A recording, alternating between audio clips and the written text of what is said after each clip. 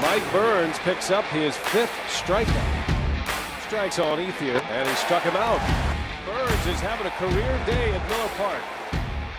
Mike Burns rings up Russell Martin.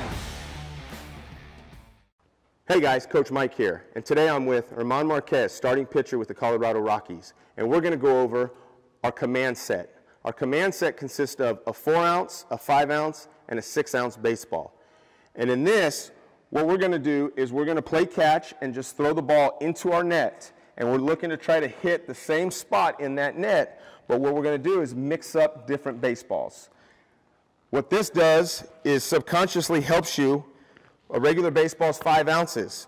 So as you grab that ball and you make that throw, and we're trying to hit that sa the same spot every time.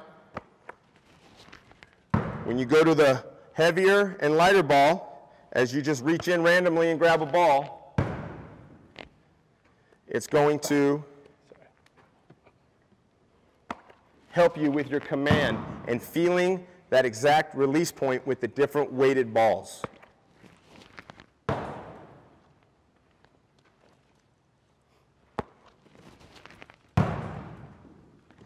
In time, playing catch with different size and different weighted balls and being able to hit a target that you're trying to throw it to is going to help increase that command.